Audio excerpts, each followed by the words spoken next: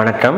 நான் விவேக் ஜிஎம்ஏயோட faculty member so நம்ம அல்ஜிப்ரா ப்ராப்ளம் செஷன்ஸ் சீரீஸாக பண்ணிகிட்டு இருந்தோம். ஸோ அதையே நம்ம கண்டினியூ பண்ணுறோம் ஸோ இன்னைக்கு ஒரு மேக்ஸிமம் கவர் பண்ண போகிறது எல்லாமே பெர்முட்டேஷன்ஸ் பேஸ் பண்ண ப்ராப்ளம்ஸ் தான். ஓகேவா ஸோ ஃபர்ஸ்ட் கொஸ்டின் போயிடலாம். Which of the following is an even permutation அவங்க ஒரு நாலு பர்முட்டேஷன் கொடுத்துருக்காங்க. அதில் எது ஈவன் பர்முட்டேஷன் அப்படின்னு கேட்டுறாங்க ஸோ ஃபஸ்ட்டு ஈவன் பர்முட்டேஷன்னா என்னன்னு பார்ப்போம். அதுக்கு முன்னாடி டிரான்ஸ்பொசிஷன் அப்படின்னா என்னன்னு பார்த்துருவோம். ஸோ இப்போ எஸ்என் அப்படின்னா set of all bijections from in the set 1 2 etc up to n to 1 2 etc up to n. So இதில் வர எல்லா பைஜெக்ஷன்ஸையும் கலெக்ட் பண்ணுற செட்டு தான் எஸ்என் என் வரைக்கும். இப்போ இதில் உள்ள எலமெண்ட்ஸ் எல்லாம் நம்ம பெர்முட்டேஷன்ஸ்னு கூப்பிடுவோம். அண்ட் இதில் உள்ள எல்லா ஃபங்க்ஷனையும் நம்ம ஒரு பர்டிகுலர் நொட்டேஷனுக்கு மாற்றி எழுதுவோம். அப்படி எழுதும்போது எப்படி எழுதுவோம்னா இப்போ one two etcetera up to N வந்து இது சம் சிக்மானா இது வந்து some sigma of one sigma of two அப்படின்னு எழுதுவோம். சிக்மா ஆஃப் என் அப்படின்னு எழுதுவோம். இதை எழுதும்போது எப்படி எழுதுவோம்னா இதை ஒரு சைக்கிள் ஸ்ட்ரக்சருக்கு மாற்றுவோம் ஃபார் எக்ஸாம்பிள் இப்போது இது ஒரு சைக்கிள் இருக்குன்னா இதை எப்படி சைக்கிளாக எழுதுவோம்னா ஒன் என்ற போது ஃபர்ஸ்ட் ஆரம்பிப்போம். ஒன்லேருந்து ஆரம்பிப்போம். ஒன் என்ற போது three one goes to three three என்ற போது டூ ஃபிக்ஸார் எலமெண்ட்டை இங்கே கன்சிடர் பண்ண மாட்டோம். இதை மட்டும்தான் எழுதுவோம்.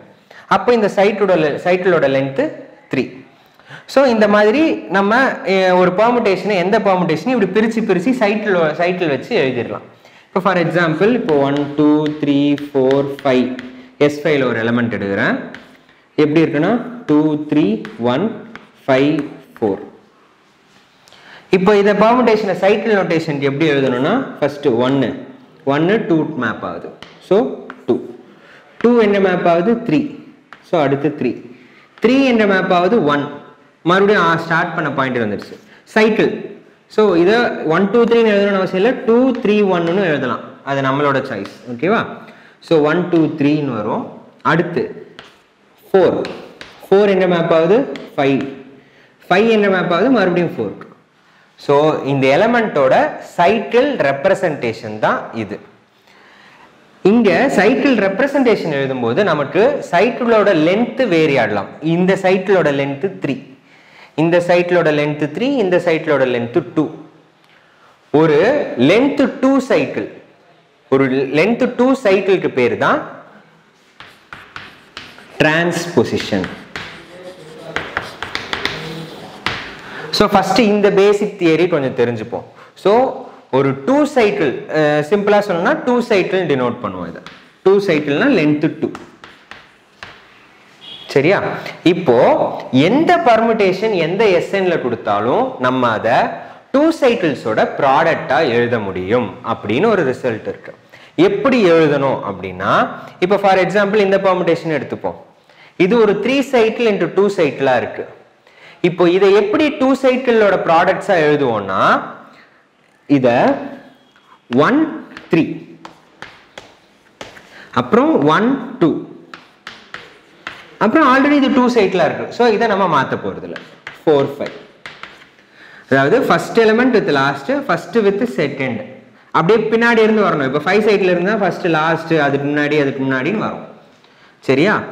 அப்போ இதோட லென்த் டூ த்ரீ அப்போ நம்மட்டு இது டூ சைக்கிள் ரெண்டு டூ சைக்கிள்ஸோட ப்ராடக்டா வந்துருச்சு. இதை நீங்க இந்த மாதிரி எழுதி ப்ராடக்ட் பண்ணினா அவுட்புட் ஒன் டூ த்ரீன்னு கிடைக்கும். ஓகேவா ஸோ நமக்கு என்ன தெரியும்னா இது வரைக்கும் எல்லா பர்முட்டேஷனையும் ப்ராடக்ட் ஆஃப் டிரான்ஸ்பொசிஷன்ஸா எழுதலாம். ஸோ இப்போ இங்க என்ன பண்ண போறோம்னா ஈவன் பர்முடேஷன்னா என்ன? ஆட் பர்முடேஷன் என்ன? கொஸ்டின் அங்கே தான் இப்போ எந்த பர்முடேஷன் கொடுத்தாலும் இப்படி ப்ராடக்டா எழுதின பிறகு மொத்தம் எத்தனை டூ சைட்டில் இருக்குன்னு கவுண்ட் பண்ணணும். அந்த நம்பர் ஆடா வந்தா ஆட் பர்முடேஷன் ஈவனா வந்தா ஈவன் பர்முடேஷன் அந்த பர்முடேஷனுக்கு பேர் அவ்வளவுதான். ஸோ என்ன பண்ணணும்னா நமக்கு எந்த பர்முடேஷன் கொடுத்துருந்தாலும் அதை டூ சைக்கிள்ஸோட ப்ராடக்டா பிரிச்சு எழுதிட்டு அதில் மொத்தம் எத்தனை பர்முடேஷன் வருதுன்னு கவுண்ட் பண்ணும். அது ஆட் நம்பராக இருந்தால் ஆட் பர்முடேஷன் ஈவன் நம்பராக இருந்தால் ஈவன் பர்முடேஷன் ஸோ இங்கே எடுத்து பார்ப்போம். அவனுக்கு கொடுத்துருக்க கொஸ்டினில் உள்ளதெல்லாம் எழுதுவோம் பிரித்து one two three into one டூன்னு கொடுத்துருக்காங்க. ஸோ எப்படி எழுதலாம்னா? ஒன்று த்ரீ அப்புறம் ஒன் டூ அப்புறம் ஒன் டூ மொத்தம் எத்தனை டூ சைக்கிள்ஸ் இருக்கு? மூணு. அப்போ இது த்ரீ த்ரீன்றது ஆட் நம்பர் ஸோ இது ஆட் பர்மிட்டேஷன் அவங்க ஈவன் கேட்டிருக்காங்க. ஸோ இது கிடையாது. அடுத்து இங்கே அவங்க கொடுக்கும் போதே டூ சைக்கிள்ஸோட ப்ராடக்டாக தான் கொடுத்துருக்காங்க. மொத்தம் எத்தனை இருக்குன்னா ஒன் டூ த்ரீ ஃபோர் நாலு இருக்கு. So four even number so இது ஒரு ஈவன் பர்மிட்டேஷன் இப்போ இது ஈவனான்னு செக் பண்ணணும்னா எழுதுவோம். One two three four five இந்த சைட்டில் ஃபஸ்ட்டு டூ சைக்கிள்ஸோட ப்ராடக்டா one five one four one three one two எழுதியாச்சு. அடுத்து இதோட இதை டூ சைடில்ஸோட ப்ராடக்டா ஒன் த்ரீ ஒன் டூ அப்புறம் ஆல்ரெடி இது டூ சைட்டில் தான் இருக்கு. அப்போ வெறும் ஃபோர் ஃபைவ் இப்போ மொத்தம் எத்தனை இருக்கு? One two three four five six seven ஏழு இருக்கு. அப்போ ஏழு ஆட் நம்பர் ஸோ இது ஈவன் பர்முட்டேஷன் கிடையாது. சேம் வே இது டூ ஃபோர் டூ த்ரீ அப்புறம் ஆல்ரெடி ஒரு டூ சைக்கிளாக இருக்குது அது அப்படியே ட்ரான்ஸ்ஃபர் பண்ணால் மொத்தம் மூணு டூ சைட்டில் இருக்குது ஆட் நம்பர் ஸோ இதுவும் ஈவன் கிடையாது. ஓகேவா ஸோ ஈவன் பர்முடேஷன் செட் பண்ண கொடுத்த சைக்கிள் நோட்டேஷனை டூ சைக்கிள்ஸோட ப்ராடக்டாக எழுதிட்டு அதுலேருந்து அதை கவுண்ட் பண்ணால் அது ஈவனாக ஆடான்னு தெரிஞ்சிடும். ஓகேவா ஸோ இதுதான் ஃபர்ஸ்ட் கொஸ்டின் இப்போது இதுலேருந்து நான் டைரெக்டாக ஃபஸ்ட்டு தேர்ட் கொஸ்டினை முடிச்சிடுறேன். டிரான்ஸ்பொசிஷன்னா என்னன்னு பார்த்தோம் டூ சைக்கிள் அதாவது லென்த் டூ சைக்கிள் ஸோ கொஸ்டினே வந்து அதான் கேட்டிருக்காங்க. ஒரு டிரான்ஸ்பொசிஷன்னா என்னன்னா it's a cycle of length எத்தனைன்னு கேட்டிருக்காங்க. இப்போ தான் பார்த்தோம் அது length two cycle so answer two so அடுத்த கொஸ்டின் என்னன்னா பெர்முடேஷன் குரூப்பு பற்றின ப்ராப்பர்ட்டி என்னன்னு கேட்குறாங்க. ஸோ எஸ் த்ரீ வந்து எபிலியனா நான் எபிலியனா சைட்லிக்கா என்னன்னு கேட்டிருக்காங்க. சரியா?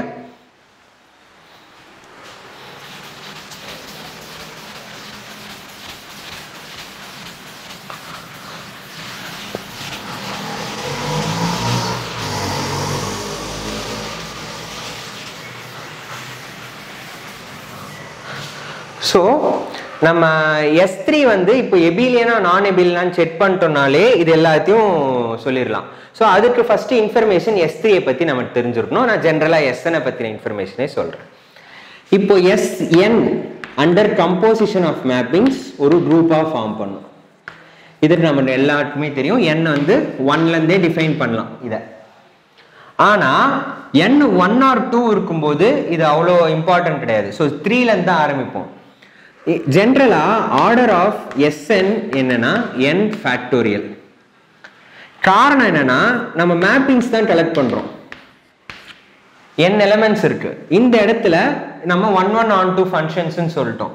அப்போ ஒன்னுக்கு மொத்தம் என் சாய்ஸஸ் இருக்கு. இங்க ஒன் வரலாம் இல்ல டூ வரலாம் இல்ல த்ரீ வரலாம். அந்த மாதிரி மொத்தம் என் சாய்ஸஸ் இருக்கு. இப்போ இங்க ஒரு எலமெண்ட்டை ஃபிக்ஸ் பண்ணிட்டோம்னா இங்க வரத்துக்கு என் மைனஸ் ஒன் சாய்ஸ் தான் இருக்கு நம்ம கிட்ட ஸோ அப்போ அப்படியே மாறி மாறி இந்த ஒரு சாய்ஸ் தான் வரும். அப்போ மொத்தமா இங்க n into n minus one into etcetera till one மொத்தம் என் ஃபேக்டோரியல் மேப்பிங்ஸ் இருக்கும் எஸ்என்ல இன் ஜென்ரல் சரியா? இப்போ எஸ்என்ல மொத்தம் என் ஃபேக்டோரியல் எலமெண்ட்ஸ் இருக்கும். அண்ட் எஸ்என் எபிலியனா இருக்குமா நான் எபிலியனா இருக்குமான்றது கேள்வி.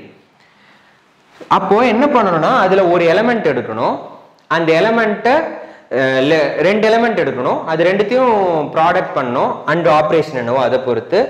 F composite g g composite f ரெண்டுமே நாட் ஈக்குவல்னு சொல்லிட்டோம்னா நமக்கு விஷயம் முடிஞ்சிடும் ஸோ என்ன பண்ணலாம்னா ஜென்ரலாகவே ப்ரூவ் பண்ணலாம். என்ன greater than or equal to three ஜென்ரலாகவே இது நான் எபிலியன்னு சொல்ல ட்ரை பண்ணலாம். எப்படின்னா சிக்மா டவ்னு ரெண்டு எலமெண்ட்டு எஸ் என்ல எடுக்கிறோம். என் த்ரீக்கு மேலே. என் த்ரீயா இருக்கலாம் இல்லை என்னவா ஆனாலும் இருக்கலாம். இந்த சிக்மாவை என்னவா எடுக்கலாம்னா சைக்கிள் நோட்டேஷன் மட்டும் எழுதுறேன். என்னன்னா ஒன் டூ டவு என்னவா எடுக்கலாம்னா ஒன் டூ த்ரீ ஓகேவா இப்போ சிக்மா டவு என்ன வரும் அப்படின்னு. ஃபர்ஸ்ட் எஸ் த்ரீல பார்ப்போம். மற்றதெல்லாம் பார்க்க தேவையில்லை ஏன்னா எல்லாமே ஃபிக்ஸ் ஆகுது. மற்றது தேவையில்லை. ஸோ நம்ம சும்மா எஸ் த்ரீல மட்டும் செக் பண்ணுவோம். சிக்மான்றது என்னது? One goes to two two goes to one இது த்ரீ டவ் என்னது? One two three so one என்ற போது ஒன்று டூக்கு மேப் ஆகுது. டூ த்ரீக்கு மேப் ஆகுது. த்ரீ ஒன்னுக்கு மேப் ஆகுது. ஸோ இதை எப்படி ஆப்ரேட் பண்ணி எழுதணும்னா ரைட் டு லெஃப்ட் கம்போசிஷன் எப்பவுமே ரைட் டு லெஃப்ட் தான் பண்ணணும். ஸோ எப்படி இதை ஆப்ரேட் பண்ணால் இந்த ஒன்னு டூக்கு மேப் ஆகுது. டூ ஒன்னுக்கு மேப் ஆகுது. அப்போது one will be mapped to one அப்புறம் டூ த்ரீக்கு மேப் ஆகுது. த்ரீ த்ரீக்கு மேப் ஆகுது. அப்போ two will be mapped to three three ஒன்னுக்கு மேப் ஆகுது. ஒன்னு டூக்கு மேப் ஆகுது. அப்போ three will be map to two so இது என்ன சைக்கிள்னா டூ த்ரீ அப்படின்ற சைக்கிள் ஒன்று ஃபிக்ஸ் ஆயிடுச்சு. சரியா? இப்போ டவு சிக்மா அப்படியே உல்டா இந்த சைடு பார்க்கணும்.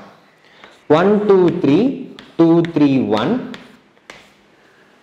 one two three two one three இதை ஆப்ரேட் பண்ணால் என்ன வரும்னா one maps to two two maps to three so one maps to three two maps to one one maps to two so இது டூக்கு போயிடும். த்ரீ த்ரீக்கு போகுது த்ரீ ஒன்னு ஸோ இந்த ஒன் ஸோ இது ஒன் த்ரீன்ற சைட்டு இப்போ நமக்கு வேற ஏதாவது எஸ்என் வேணும்னா அது அப்படியே பட்டத்தில் என் போட்டு அதை அப்படியே ஃபிக்ஸ் பண்ணிக்கலாம். இங்க என்ன நடக்குதுன்னா சிக்மா டவ் எடுத்தோம் டூ த்ரீன்னு கிடைச்சது. டவு சிக்மான்னு எடுத்து- எடுத்தோம் ஒன் த்ரீன்னு கிடச்சிது. அப்போ சிக்மா டவும் டவு சிக்மாவும் ஈக்குவல் கிடையாது. அப்போது நம்ம எஸ்என்ல ஒரு பேர் கொடுத்துட்டோம். சிக்மா டவும் டவு சிக்மாவும் ஈக்குவலாக இல்லாத மாதிரி கம்யூட் ஆகாத மாதிரி. இப்போ கம்யூட் ஆகாத மாதிரி ஒரே ஒரு பேர் ஆஃப் எலமெண்ட்ஸ் கொடுத்ததுனால ஒரு பேராவது கொடுத்துட்டதுனால எஸ்என் எப்போவுமே நான் எபிலியன் ஜென்ரலாகவே என் த்ரீக்கு அப்புறம் எடுத்தாலே அந்த எஸ்என் நான் எபிலியனாக தான் இருக்கும். So the permutation group S three S த்ரீன்னு இல்லை த்ரீக்கு அப்புறம் எந்த எஸ்என் எடுத்தாலுமே அது நன் எபிலியன் எபிலியனா ஒரு வாய்ப்பு இல்லை நன் எபிலியன் சொல்லிட்டோம் எபிலியனே இல்லாததுனால சைட்லிக் வரவும் வாய்ப்பில்லை எஸ் த்ரீயோட ஆர்டர் எஸ் என்னோட ஆர்டர் என் ஃபேக்டோரியல் அப்போ எஸ் த்ரீயோட ஆர்டர் வந்து த்ரீ ஃபேக்டோரியல் சிக்ஸ் அப்போது இது இன்ஃபைனைட்னு சொல்லியிருக்காங்க அதுவும் தப்பு. ஸோ ஒரே ஒரே கொஸ்டின் எஸ் மொத்தமாக பர்முட்டேஷனை பற்றி இந்த கொஸ்டின்லேயே நம்ம பர்முட்டேஷனை பற்றினா நிறைய இன்ஃபர்மேஷன் கிடச்சிருக்கு. சரியா? இன்னும் ஒரு ப்ராப்ளம் ஒர்க் பண்ணலாம்.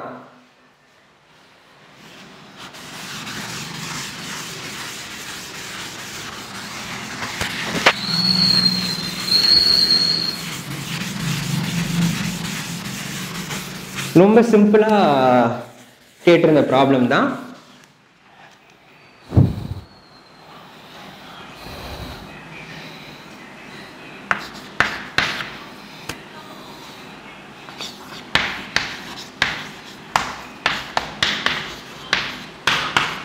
order of the permutation.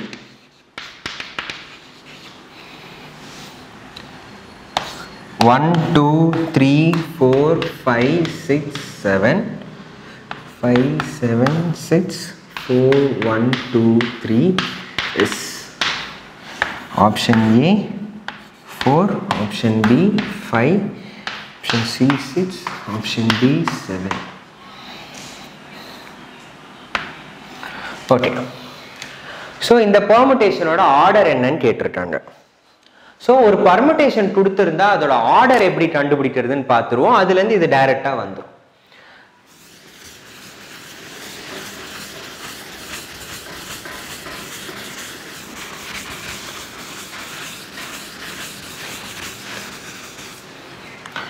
So ஒரு பர்முட்டேஷன் கொடுத்துருந்தாங்கன்னா ஆர்டர் கண்டுபிடிக்கிறதுக்கு ஃபர்ஸ்ட் ஸ்டெப்பு அதை சைக்கிள் நோட்டேஷனுக்கு மாற்றி எழுதணும்.